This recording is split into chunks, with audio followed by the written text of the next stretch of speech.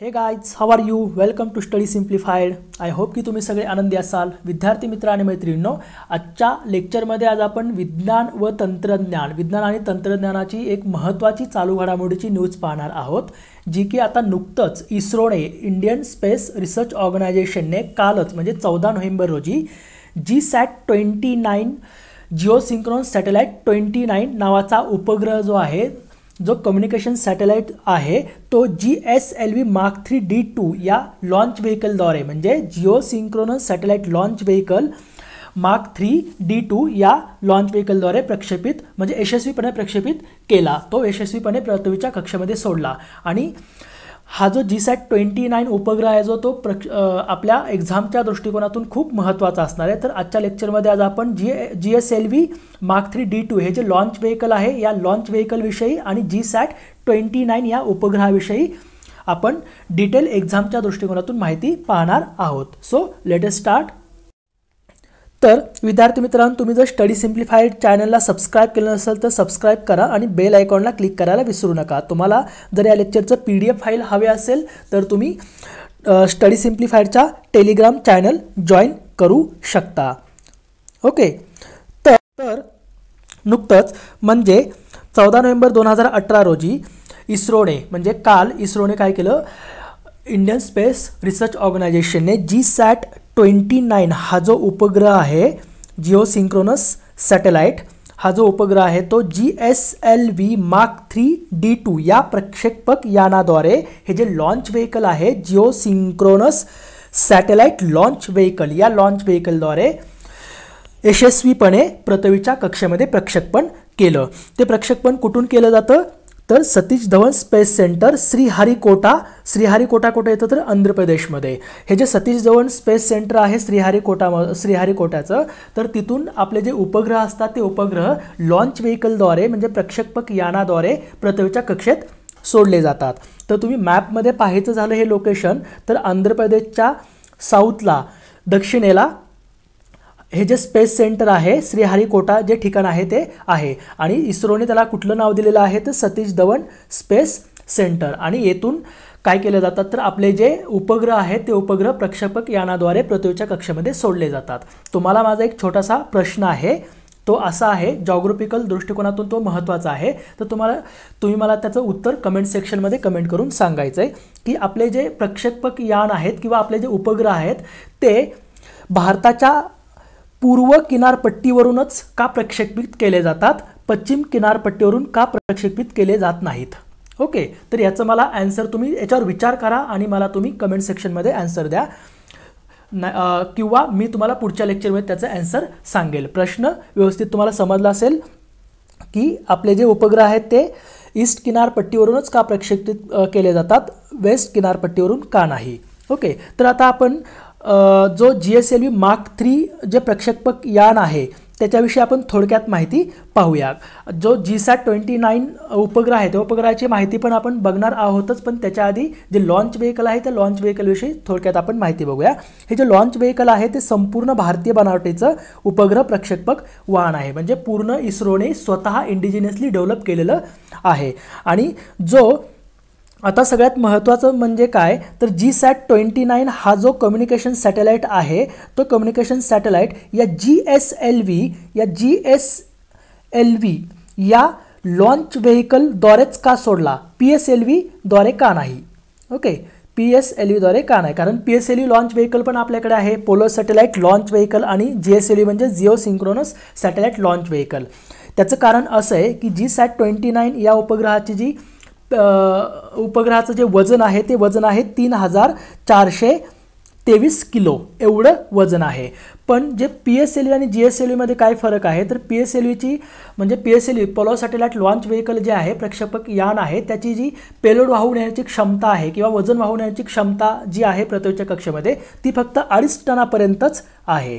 Okay अडीच टनापर्यंतच आहे. अडीच टनाच्या वरी ते पेलोड वाहून घेऊ जाऊ श म्हणजे घेऊन जाऊ शकत नाही. त्याच्यासाठी मग इस्रोने काय केलं? जास्तीत जास्त वजन जास्तीत जास्त वजनाचा उपग्रह पृथ्वीच्या कक्षेत सोडण्यासाठी जी एस एल व्ही हे नवीन प्रक्षेपक यान काय केलं? डेव्हलप केलं. त्याच्यामध्ये आपण क्रायोजेनिक इंजिनचा पण वापर केलेला आहे. क्रायोजेनिक इंजिन बसवलेलं आहे. ते तुम्हाला पुढे सांगेलच. तर हा जी सॅट ट्वेंटी नाईन जो उपग्रह आहे तो G S G S L व्हीद्वारे आपण कारण जी एस एल व्हीची जी कॅपॅसिटी आहे ती कॅपॅसिटी लो अर्थ ऑर्बिटमध्ये जे एल ई ओ आहे पृथ्वीचं लो अर्थ ऑर्बिट याच्यामध्ये जवळजवळ दहा टनापर्यंतचा उपग्रह ते प्रक्षेपित करू शकतं सोडू शकतं. आणि जी जी टी ओ कक्षा आहे जिओ सिंक्रोन ट्रान्सफर ऑर्बिट म्हणजे ही कक्षा थोडी मोठी असते. या कक्षेमध्ये जी एस एल व्हीद्वारे जवळजवळ चार टनापर्यंतचा उपग्रह आपण प्रक्षेपित करू शकतो. ओके तर हा जो G sat twenty nine communication satellite आहे तो आपण कुठल्या कक्षेमध्ये पृथ्वीच्या सोडलेला आहे? तर जी टी ओ म्हणजे जिओ सिंक्रोन ट्रान्सफर ऑर्बिट या कक्षेमध्ये आपण यशस्वीपणे तो सोडलेला आहे. तुम्हाला आता मी याच्यातला डिफरन्सही सांगतो की जी टी ओ आणि एल ई ओ म्हणजे जिओ सिंक्रोन ट्रान्सफर ऑर्बिट आणि लो अर्थ ऑर्बिट याच्यामध्ये नेमका डिफरन्स काय आहे ते तुम्हाला मी आता सांगणारच आहे. जेणेकरून तुम्हाला कुठलेही डाऊट राहणार नाहीत आणि तुमच्या कॉन्सेप्टही क्लिअर राहतील. कारण तुम्हाला ह्या प्री आणि मेन्सला दोन्हीही एक्झामसाठी ह्या कॉन्सेप्ट तुम्हाला म्हणजे लक्षात घ्यावेच लागतील आणि तिथं तुम्हाला त्या विचारलाही जातात. तर लो अर्थ ऑर्बिट आणि जिओसिंक्रोनस ट्रा ट्रान्सफर ऑर्बिट याच्यामध्ये एकच मेन डिफरन्स आहे तो म्हणजे कक्षेचा. पृथ्वीपासून असणारी जी कक्षा आहे ती लो अर्थ ऑर्बिटची कक्षा फार कमी आहे. पृथ्वीपासून जर या कक्षेचं अंतर बघितलं आपण तर ते फक्त पंधराशे किलोमीटर एवढंच अंतर आहे. आणि जिओ सिंक्रोन ट्रान्सफर ऑर्बिटची जी कक्षा आहे ती कक्षा पृथ्वीपासूनची सगळ्यात मोठी कक्षा आहे आणि पृथ्वीपासूनचं त्याचं जर अंतर बघितलं आपण तर ते अंतर जवळजवळ पस्तीस हजार सातशे शहाऐंशी किलोमीटर एवढं अंतर आहे. म्हणजे एखादा उपग्रह जर आपण लो अर्थ ऑर्बिटमध्ये सोडला तर त्याच्या अंतर्गत कव्हर होणारा जो एरिया आहे तो एरिया फार कमी असणार आहे. आणि एखादा उपग्रह जर आपण जिओ सिंक्रोन ट्रान्सफर ऑर्बिटमध्ये सोडला तर त्याच्या अंतर्गत कवर होणारा जो एरिया आहे तो एरिया सगळ्यात मोठा असेल. ओके त्याच्यामुळे आपल्याला फायदाच होईल. तर हा त्यातला मेन डिफरन्स आहे जो की त्याचा मेन डिफरन्स काय आहे तर कक्षेचा डिफरन्स आहे. आता G T O geostationary orbit आणि जिओ सिंक्रोन ट्रान्सफर ऑर्बिट ह्या दोन्ही कक्षा एकच आहेत.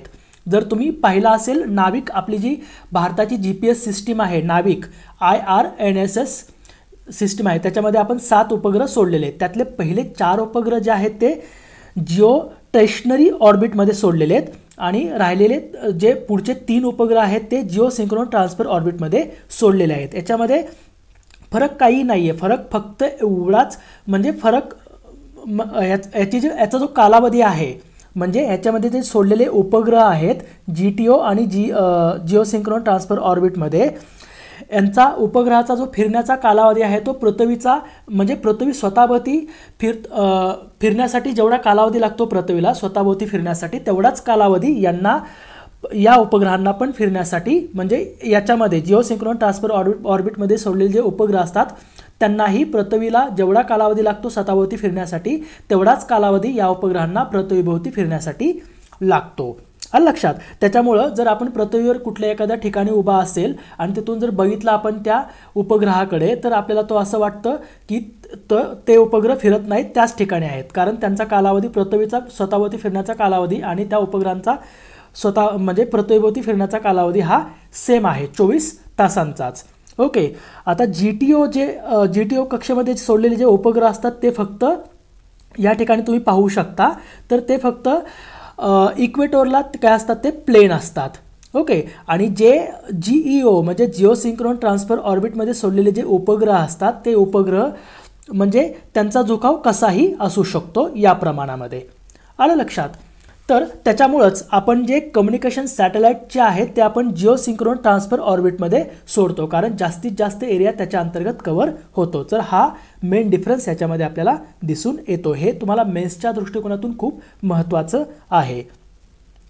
तर हे G S L V mark three D two हे जे लॉन्च व्हेकल आहे ते लॉन्च व्हेकल संपूर्ण भारतीय बनावटीचं प्रक्षेपण यान आहे. Okay geosynchronous satellite launch vehicle तर याच्या हे जे लॉन्च व्हेकल आहे ते थ्री स्टेजेसमध्ये डेव्हलप केलेलं आहे. तर ते थ्री स्टेजेस कुठल्या? तर पहिली स्टेज आहे two two solid motor strap ons म्हणजे बूस्टर्स म्हणजे जे सॅटेलाईट लॉन्च व्हेकल आहे त्या लॉन्च व्हेकलला बूस्ट करण्यासाठी किंवा वरी घेऊन जाण्यासाठी ह्या दोन मोटर्स तिथं बसवलेल्या आहेत. त्याच्यामध्ये लिक्विड कॅ सॉलिड त्याच्यामध्ये प्रोपलंट वा वापरलेलं आहे. दुसरं म्हणजे लि लिक्विड प्रोपलंट को स्टेज ही जी मधली स्टेज आहे त्याच्यामध्ये लिक्विड प्रोपलंट को स्टेज वापरलेलं आहे. त्याच्यामध्ये जे इंधन असतं ते लिक्विड इंधन असतं. आणि याच्यामुळं आपण जो उपग्रह आहे तो उपग्रह पृथ्वीच्या कक्षेत सोडण्यासाठी याच्यामुळं आपल्याला मदत होते. म्हणजे लॉन्च व्हेकलला आपल्याला जर वरे घेऊन जायचं असेल अवकाशात घेऊन जायचं असेल तर या तिन्हींचाही उपयोग होतो. आणि तिसरी स्टेज जी आहे ती क्रायोजेनिक इंजिनची स्टेज आहे जे की आपण क्रायोजेनिक इंजिन स्वतः हा इंडिजिनियसली डेव्हलप केलेलं आहे. इत या ठिकाणी हे क्रायोजेनिक इंजिन बसवलेलं असतं आणि या क्रायोजेनिक इंजिनमध्ये प्रोपलंट म्हणून किंवा इंधन म्हणून लिक्विड म्हणजे लिक्विड ऑक्सिजन आणि लिक्विड हायड्रोजन याच्यामध्ये भरलेला असतो. आणि हा ही जी वरची स्टेप असते या वरच्या स्टेजमध्ये उप आपला जो सॅटेलाईट असतो तो सॅटेलाईट ह्याच्यामध्ये ठेवलेला असतो. ज्यावेळेस ह्याच्यामधलं इंधन संपतं या तीन तिन्ही स्टेज या दोन्ही स्टेजमधलं त्यावेळेस हे दोन्ही स्टेज उपग्रहापासून या लॉन्च व्हेकलपासून वेगळे होतात आणि नंतर मग हे जे क्रायोजेनिक इंजिन आहे ते क्रायोजेनिक इंजिन या उपग्रहाला पृथ्वीच्या कक्षेत सोडण्यासाठी मदत करतं. आलं लक्षात?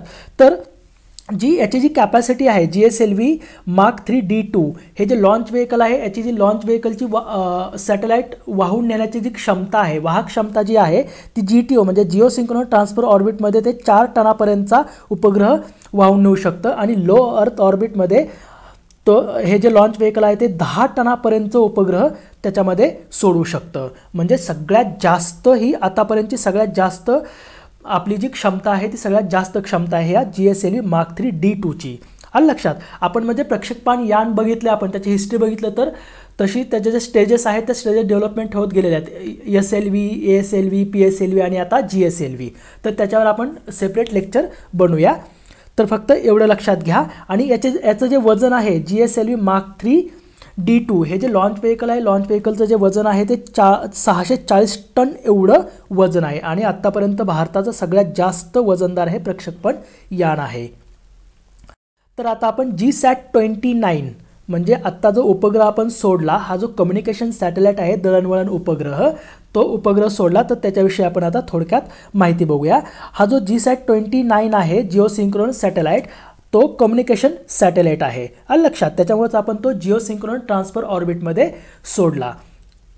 आणि सगळ्यात महत्त्वाचं म्हणजे हा जो सॅटेलाईट आहे जी सॅट ट्वेंटी नाईन ह्याचा मेन उद्देश जो आहे तो ईशान्य भारत आणि जो जम्मू आणि काश्मीर काश्मीरचा दुर्गम भाग आहे ईशान्य भारताचा आणि जम्मू आणि काश्मीरचा जो दुर्गम भाग आहे त्या दुर्गम भागामध्ये जी संपर्क यंत्रणा आहे ती गतिमान करण्यासाठी म्हणजे मिलिटरी यूजसाठी हा सॅटेलाईट सोडलेला आहे. हा कम्युनिकेशन सॅटेलाईट सोडलेला आहे. कुठल्या लॉन्च व्हेकलद्वारे तर G S L V mark three D two या लॉन्च व्हेकलद्वारे सोडलेला आहे. याचं जे वजन आहे ते तीन हजार चारशे तेवीस किलोग्राम एवढा आहे. त्याच्यामुळेच आपण तो जी जी एस एल व्हीद्वारे प्रक्षेपित केला. आणि कुठल्या आणि ह्याचा निर्माता जो आहे हा हे जे सॅटेलाईट आहे ते सॅटेलाईट इंडिजिनियसली डेव्हलप केलेलं आहे. ते कोणी डेव्हलप केलेलं आहे? तर ISRO Indian space research organisation या संस्थेनं काय केलेलं आहे? याला डेव्हलप केलेलं आहे. आणि तो कुठल्या ऑर्बिटमध्ये सोडलेला आहे? आत्ता तुम्हाला मी सांगितलं जिओ सिंक्रोन ट्रान्सफर ऑर्बिटमध्ये सोडलेला आहे. आणि हा सगळा संपूर्ण भारतीय बनावटीचा उपग्रह आहे. आणि याचं हा जो उपग्रह आहे आत्तापर्यंतचा सर सर्वाधिक वजनाचा उपग्रह आहे. याचं जे आयुष्य असणार आहे पृथ्वीच्या कक्षेमध्ये काम करण्याचं ते दहा वर्षे एवढं असणार आहे. आणि याचं जर फीचर बघितलं तर त्याच्यामध्ये के ए आणि के यू बँड बसवले आहेत हे ट्रान्सपॉन्डर्स बसवलेले आहेत. हे हे के आणि के यू बँड जे आहेत ते फ्रिक्वेन्सी म्हणजे रेडिओ फ्रिक्वेन्सी बँड आहेत. ओके फक्त एवढं लक्षात असू द्या. आय होप की तुम्हाला या सगळ्या कॉन्सेप्ट क्लिअर झाल्या असतील. जर तुम्हाला हे लेसन आवडलं असेल तर तुम्ही तुमच्या मित्रमैत्रिणींपर्यंत शेअर करायला विसरू नका आणि कमेंट करायला विसरू नका. So thank you